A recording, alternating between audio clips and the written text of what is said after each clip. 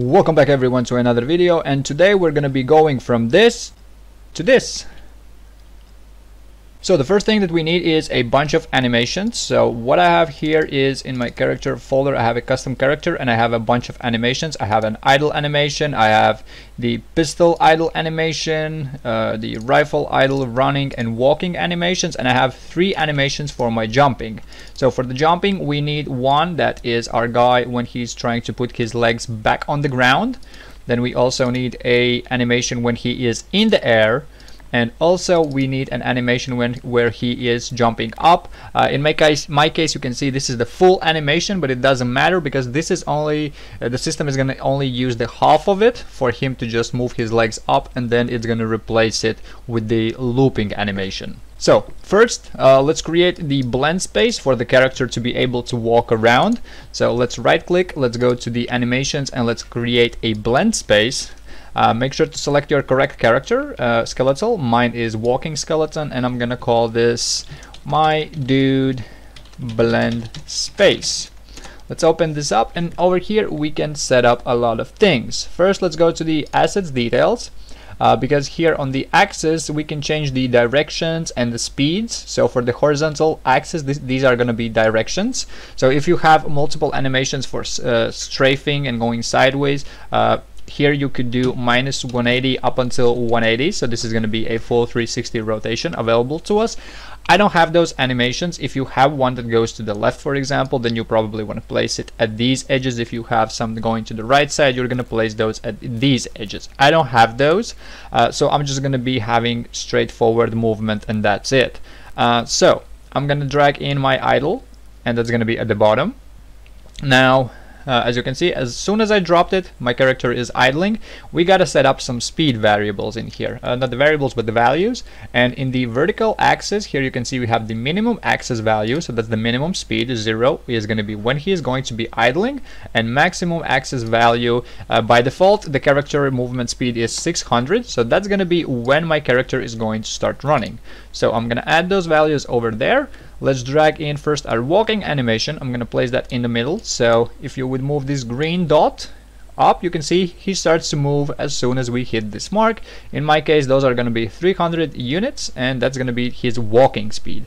Now for the running I'm to drag that in and put it at the very top. And now if we drag this up you can see he is starting to run once he hits uh, some higher numbers. 600 or above is when he will run full speed now to make life easier for us once we want to uh, apply the speed to our character, let's name the variables that are going to be needed. So in the horizontal axis, the name is going to be the di direction and the bottom one for the vertical axis, the name is going to be speed. And that's going to be it that it will be needed in this blend space blueprint. So let's close this now the next thing that we need is the actual animation blueprint which figures out which animation and when to use. So let's right click, go to the animations and let's create the animation blueprint. Again, make sure to select your correct skeletal. Mine is walking skeletal, okay, and I'm gonna call this my dude anim BP. Let's open this up and here is the output pose and this is going to be the end result which is going to allow us to actually display the animation. Uh, we will have a bunch of those. There, there will be different. So I'm going to right click and I'm going to look for a thing called state machine. So depending on the state this is going to return us a different animation. So let's compile this, go inside of the state machine. You can see it's already running Let's open this up and this uh, now here we need to add some states. First let's drag from this, let's add a state. And I'm gonna call this idle slash move since uh, this state is going to use our blend space and is going to detect whether it needs to be running, walking or just idling. So let's open this up. So now over here we're going to start very basic. Let's first let's drag in our blend space. It's now since we created this it's available for us in the assets browser. We can drag that in connect the pose over here and now this requires us to have two inputs it needs a direction and this needs a speed so let's drag from those let's promote them to the variables so this is going to be the direction and the other one obviously is going to be the speed Here we go. So we have those plugged in and technically this should be good enough. Now we need to actually populate these variables with some values because by default, as of right now, there isn't going to be any value in them. So let's go to the event graph. So here on the event blueprint update animation, we need to cast to the character, so in my case third person character, and the object is this try get pawn owner. So this is going to return as the pawn. Now over here, we need to set the direction and we also need to set the speed. Now let's begin with the speed since that's a little bit easier. So let's drag from this and let's get the velocity. So let's get the velocity and then from the velocity this is a vector 3 but we need a float value. So let's drag from this and we need the uh, vector length vector length and then this can go into our speed and our speed is all set up. Now for the direction, this is going to be a little bit different. So what we need to do is from the character, we want to get actor rotation. And then from the rotation, we can get the direction. So calculate direction. Then let's plug in the velocity value since this is required. And then the output float value can be plugged into the direction and this is going to give us the correct values. So now if we would compile and save this, here on the right side we can select the animation preview of editor and if we give this guy some speed, you can see that he is starting to slowly walk and then he is starting to run depending on the speed that we have and this is blending together quite nicely. There we go. So that's gonna be it for the running as of right now. Very basic, but we want to hold different items in our hands, different weapons. So this thing is going to get quite a bit more complex. We need to know what kind of weapon we are holding, and we need to know if our character is in the air. So uh, let's then set those values up, and as the third person character, we need to get the movement component, get the movement component, and from the movement component we can check if he is falling. Then this is going to return as a boolean value, so true or false, whether he is falling or he is not. Let's promote that to a variable and let's give it a name is falling. Let's plug that in, so this gets set and the next thing that we need is the top pose uh, depending on the weapon that we are holding. For that we need to first go to our third person character because we don't have a variable for that. So over here I'm gonna add a new variable for the character and I'm gonna call this top pose index.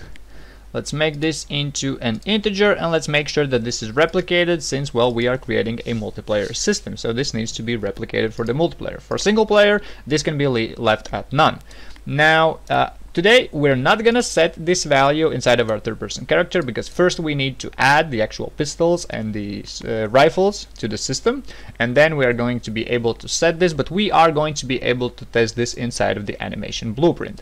So now in the animation blueprint as the third person character we want to get that value. So let's get the top pose index and now we can promote that to a variable inside of our animation blueprint and let's call it the same way. So top pose index. Let's plug that in. There we go. So we've set up all the necessary things that we are going to be using in this tutorial. Now let's go back to the state machine. So we have the idle state. We are in the idle state. But well our idle state is going to get quite a bit more difficult. So first what I want to do is drag this back and instead of just simply running this directly I want to use something called layered blend per bone. And the base pose is going to be my blend space for the running. So this is going to use the top part of my body. How to make sure that this does uses the bottom part is by selecting the layer blend per bone node. And here in the layer setup we need to add one array element to the branch filters and we need to provide this with a bone name. Now to figure out what bone we need to use, let's go to our skeleton first and let's have a look at the hierarchy of our bones. In my case, I'm going to use the spine 1, since that's right in the middle of the character, so I can blend the bottom of the character with the top part of the character quite nicely by using this bone.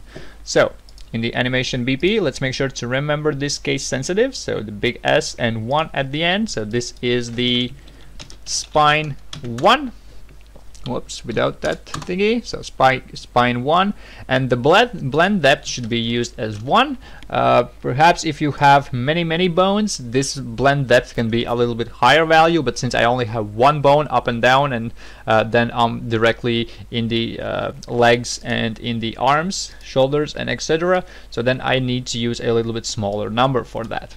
Now for the blend poses this is where it's going to figure out what kind of top part animation it needs to use. And to do so, we need a node called, let's see, blend per int, blend int, blend poses by int. So let's plug that into the blend poses and this node can have as many as we want. Uh, same goes for this one, we can blend multiple things together as well. And same goes for this one, we just simply need to right click this and we can add a blend pin. And now for the active child, child index, this is going to be our top pose index. So this variable is going to determine which uh, holding position we need to use. And let's populate now our poses. So I'm going to go to the assets browser. On the top one, if we are not holding anything, our ID is going to be zero. So we can use our breathing idle animation in the top one. Then for the blend pose one, I'm going to have a pistol. So I'm going to use the pistol holding animation there we go. And the blend pose number two is going to be my rifle idle animation. Obviously, if you have more, add more. Uh, that's all I'm gonna have as of right now. And this is going to blend our animations together quite nicely. But, well, if we plug that in and give it a test, you can see if we start to run, give this guy some speed, you can see his arms are looking weird. It looks like he has a stick on his back and the arms are glued to him. Uh, so this is not gonna work exactly exactly like we want it to. So because I'm using the idle position while his hands are next to him and he's not really running and moving his arms exactly like I want him to. So we need to reuse our blend space. Now to do so, I'm gonna add another blend pose by, but not by integer. I'm gonna use the blend poses by a boolean. There we go. On the false route, we can use this layered blend pose per bone. And on the true route, I'm just gonna simply copy the blend space because, well, we cannot reuse this. You can see this this gets disconnected instantly. So I want to use a new one like so.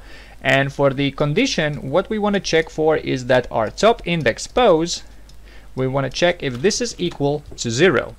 If it is equal to zero, then we can run our default running blend space. If it's not equal to zero, that means, well, we are holding something and it needs a different top part animation. So we're going to make sure that it gets blended with the correct index. So this is going to be our final completed output. Now we can compile and save this.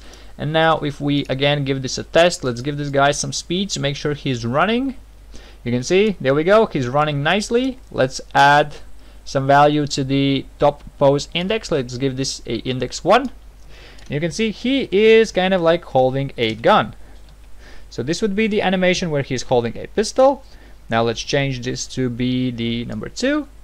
And you can see this is looking more like he's holding an actual rifle. So depending on the top pose index, he's going to change his animation. There we go. So we are all good and done with this part. Now let's set up some jumping animations as well. So let's go to the state machine, back to the state machine, and here we're gonna need quite a few states because we want to do like a loop for the jump. So let's drag this out, let's add a state, and let's call this jump up. So this is going to be when the character starts to jump. Then we're going to need another state, which is going to be, let's call this jump loop. So this is when he is going to be in the air.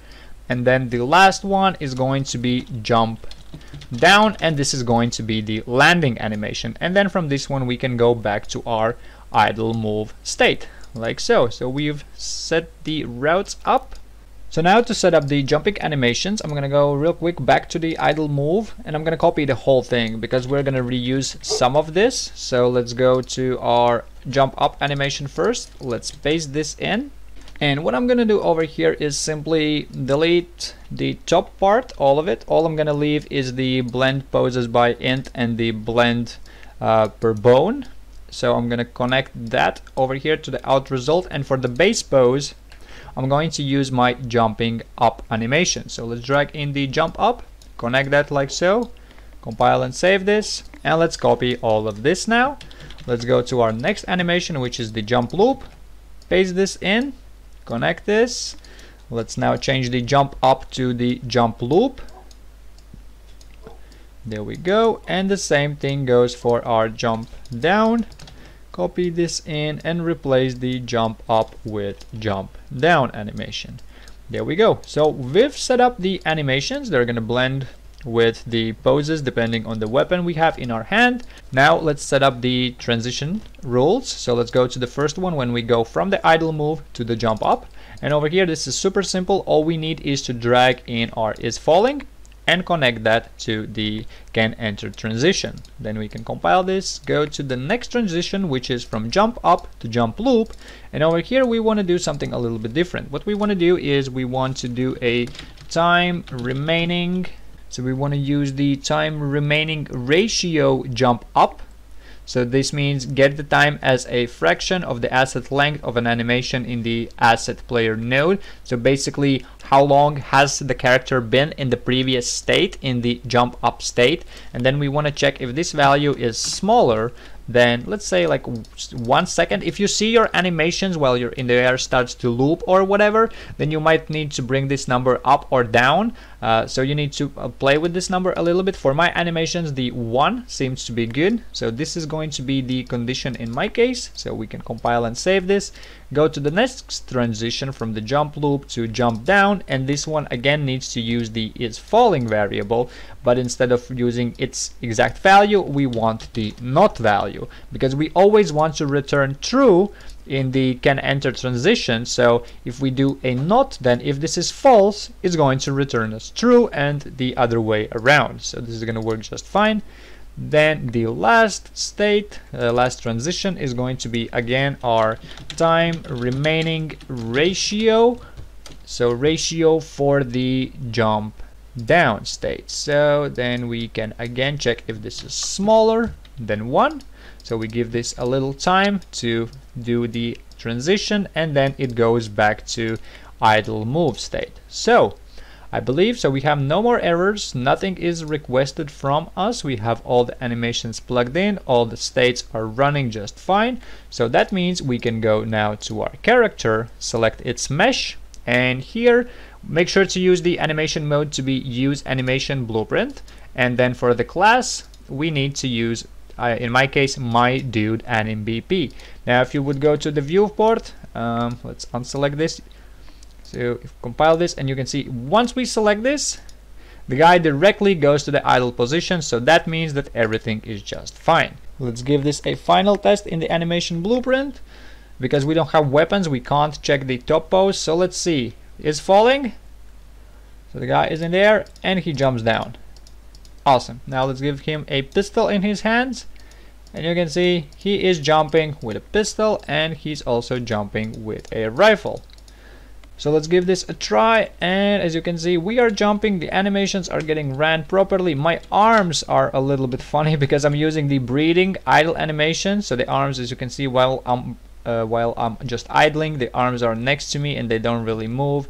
So that's why while I'm in the air you can see they're just moving just a slight smidge. So maybe you would like to look for some better animations. I made a bad choice on this one. I might change this along the way. But other than that everything seems to be working just fine and our character now can jump so that's going to be it for today's video. A little information about how to create the animation blueprint, how to blend different animations together, how to figure out how to blend the top body part with the bottom body part. And yeah, like always, thank you for watching. Make sure to subscribe to my channel, join my Discord, and I see you in the next episode.